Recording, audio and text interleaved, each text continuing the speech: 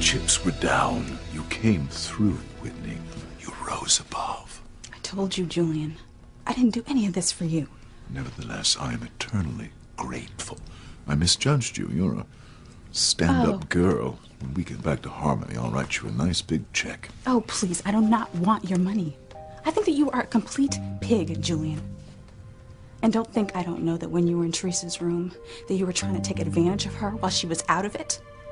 Oh, not The only reason I told Ethan that I was in the room when you came in was so that he wouldn't kill you and end up going to jail.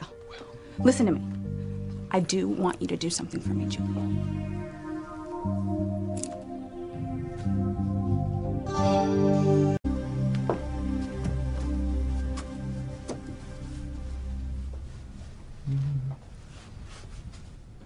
You should know better than to threaten me, Whitney.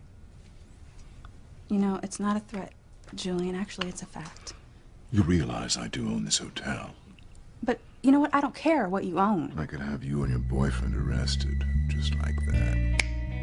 Hmm. But seeing as you're a friend of my wife's, I'll ignore your little threat and ask what I may do for you. For starters, you can stop calling Theresa your wife and get the marriage annulled like you promised. I already told you. I'm working on it. Well, don't work on it, Julian. Just do it. It will be done. But you must remind Theresa that Mom is the word when it comes to our marriage. She's to keep it a secret.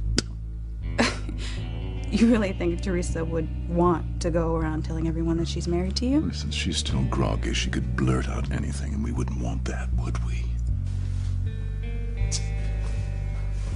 Well, then the sooner you get this marriage annulled, the less likely she is to say anything to anybody. Just tell her to keep quiet. Deal? Deal. Ugh.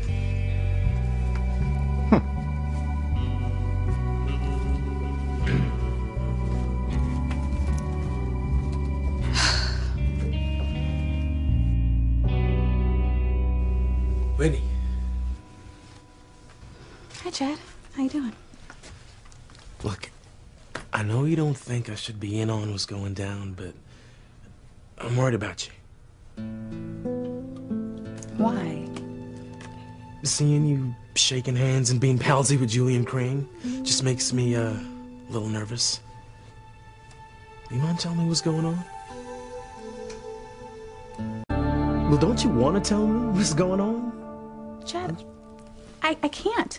You're just gonna have to trust me on this. If I told you what Julian and I were talking about, you would feel obligated to tell Ethan. And that would cause a problem. A very, very big problem. All hell would definitely break loose. That's why Ethan can just, he can never know. And I know Theresa's smart enough not to tell him either. It was more like a, a nightmare than a, a dream. You know, I, I guess I can blame it on the drug that the doctor gave me, but it seemed real, Ethan. This is crazy, I guess. Well, what was it about? Okay. Well, I was actually. Theresa! Hey! Come on, girl. Let's hurry up and get dressed. Everybody's meeting downstairs to welcome Sheridan back. Oh, I, I was just about to tell Ethan about this crazy dream I had. I mean, wait, let me tell you, you would not believe it. it oh, was... honey, honey, it's okay. You can tell him later. I mean, we don't want to miss out on being there for Sheridan at all. Ethan, would you mind actually going out there in the hallway with Chad and give us a little girl time? Yeah, sure. Thank you, Ethan. Bye.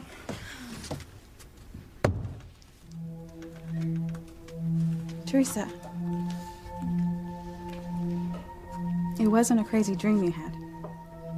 What are you talking about? You and Julian. How did you know that uh, Julian was in my dream? Theresa, honey, listen to me. It wasn't a dream. You did sleep with Julian. And not only did you sleep with him, but you married him at a 24 hour chapel. No, I no. Yes, yes, honey, you told me yourself yesterday morning. You admitted it to me. Julian admitted it. The Justice of the Peace admitted it, honey. Oh my God! It wasn't a dream? Oh, it really happened, Whitney. That, that's what I've been trying to tell you, honey. That's why you can't tell Ethan. Listen to me. If you tell Ethan, he's gonna tell Luis, and they're gonna kill Julian, and they're both gonna be in jail forever. Whitney, what am I going to, to do? Theresa, you're gonna shut up about it. That's exactly what you're gonna do. You're just gonna shut up and let Julian get the annulment.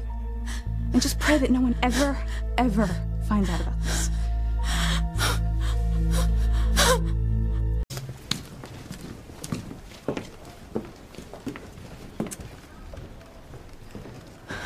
If Ethan finds out what I did, you know, but before the annulment, before Ethan and I get married, You won't have a marriage, Theresa.